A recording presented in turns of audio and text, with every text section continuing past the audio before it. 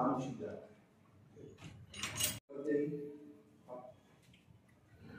आप क्या हैं कि कोई नहीं जानता जो कुछ तूफ़ान गुजर जाए नहीं बोलते हम। वक्लाने पर मगर पेश से तम बोलते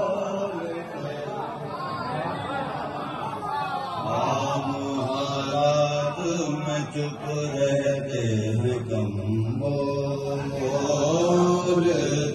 हैं दश्त पुरखार से गुजरा है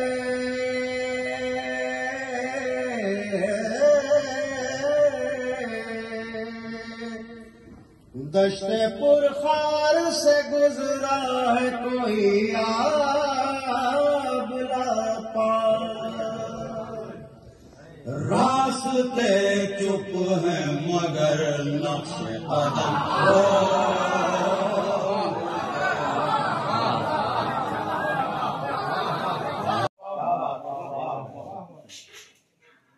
बहरहाल मुझसे बेहतर जानेंगे इस चीज़ को। बहुत सी असनाफ वजूद में आई हैं आज़ादारी की बुनियाद पर। यानी अदब का दामन वसी हुआ है आवादारी की वजह से। तो जिस शय की वजह से इल्म और अदब को तरक्की मैसर हो, जिस शय की वजह से हम और कोई हिमायत होगी।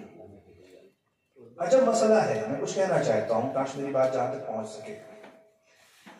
आज हमारी मिलत में एक थोड़ी सी तंगनजरी ऐसी पैदा हो गई है। जब भी कोई नई काविश और कोई नई तदबीर सोची जाती है तो वो काम अपने आप में अच्छा है या बुरा है, इसका फैसला तो बाद में होता है। पहले गुफ्तु क्यों? शायद इसलिए कि इस तरह का नज़रिया रखने वाले अफराद अपने मौला की बातों पे गौर करने की काबिलियत नहीं पैदा कर सके। मौला ने फरमाया था, ये मत देखो कौन है।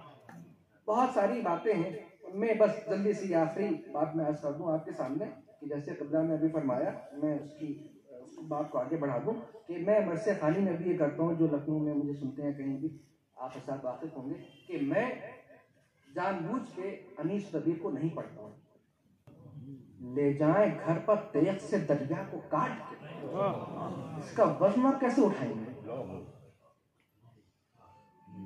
दरिया नहीं जो हट गया हम जुल्फकार हैं इसका वज़न कैसे आप उठाएँगे? कैसे बर्दाश्त करेंगे?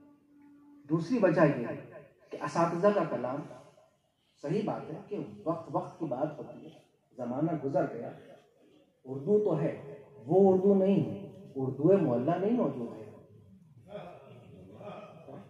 उर्दू मोहल्ला मौजूद नहीं है। तो हम उस जबान में, ये तो खिलाफ खिताबत होगा ना कि हम उस जबान में आपसे गुफ्तु करें जो आप जानते ही नहीं है। अभी हम अरबी बोलने लगे, अभी फारसी बोलने लगे, या मुकफ़ा मुसज्जा, इबारत में बात करने लगे तो आप कहेंगे तो बड़ा काबिल आदमी है। लेकिन समझ में क्या आया? What did I reflect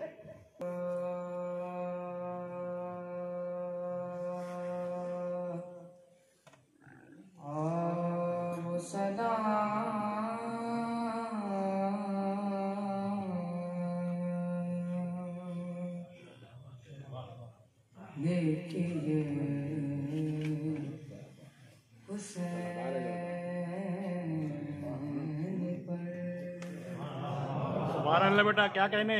कि बेहेस्त जिसका सेना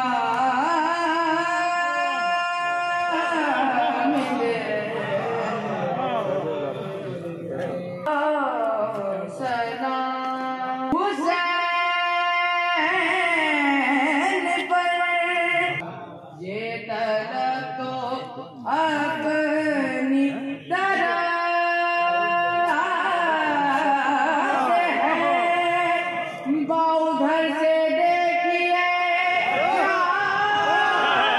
क्या कहने बेटा क्या कहने खुश रहो बेटा और उधर